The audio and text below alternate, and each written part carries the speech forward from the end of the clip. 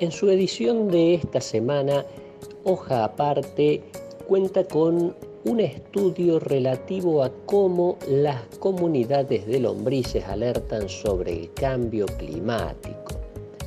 Se trata de la labor producida por un equipo de universitarios que tomó parte de una exploración mundial relativa a diversidad, distribución y amenazas que afectan a las comunidades de lombrices.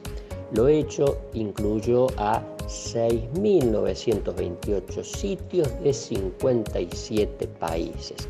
En páginas 2, 3 y 4, los doctores José Vedano y Anaí Domínguez refieren al tema.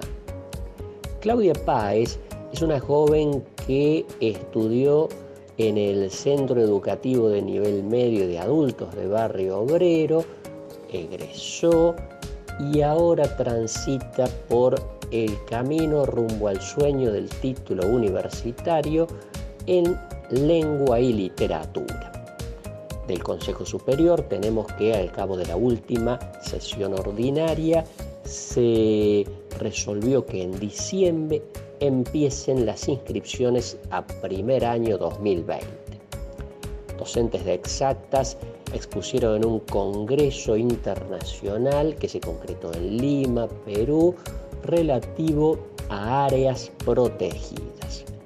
Páginas 12 y 13 tienen una entrevista a Melina Talano, Secretaría de Posgrado y Coordinación Internacional, que informa acerca de proyectos de su cartera, entre ellos el impulso al cursado de carreras de posgrado mediante educación a distancia.